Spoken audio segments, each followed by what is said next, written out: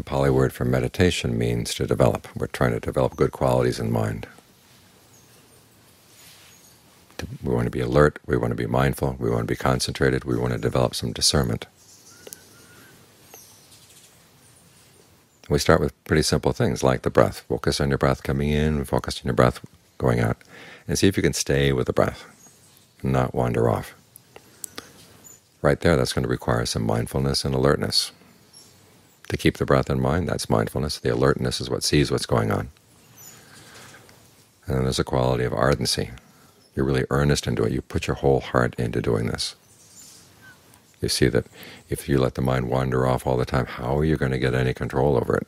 If you have no control over your mind, what control do you have over anything at all in life? Everything has to start with the mind. So first we try to gain some control here, giving it this simple task. And in the course of this simple task, we train some really basic qualities that it needs for all its other tasks as well. This way you learn how to depend more and more on yourself.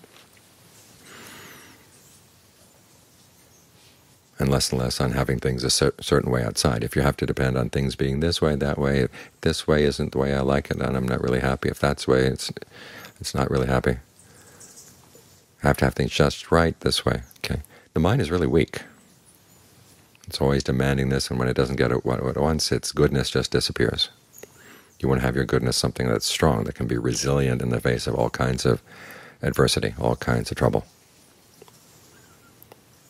And again, that depends on training qualities in the mind itself. So when things outside are good, it doesn't get carried away. When things are not good, it doesn't get upset. It can keep itself on an even keel. And that way, once the mind becomes more under your control, then you see that the things you do and say and think become more under your control as well. And you can start, you can start shaping your life in the direction that you want it to go. So the developing starts here. You develop your mind.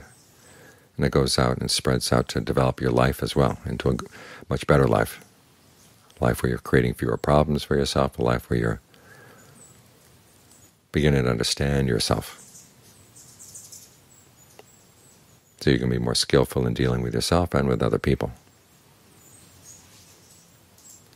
But don't forget the basics. Always be mindful, always be alert and put your heart into doing this well. And those qualities will then carry over to the other things you need to do in life. Then you're bound to succeed at what you want to do.